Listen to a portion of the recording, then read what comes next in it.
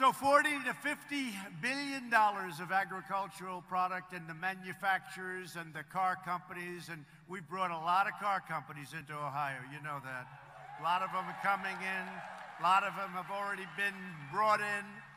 They're coming in from Japan. They're coming in from all over the world. This is where they want to be. They want to be in the United States. That's where the action is. They're all coming back.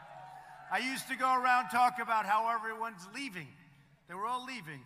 A lot of you are victims of that leaving. These companies would leave, they'd go to Mexico, they'd go to Canada, they'd close up, they'd buy from China. Now they're all coming back, new ones, old ones, they're all coming back, and many are coming right here to Ohio.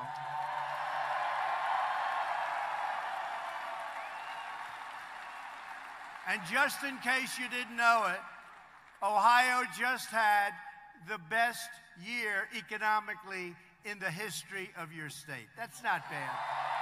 That's not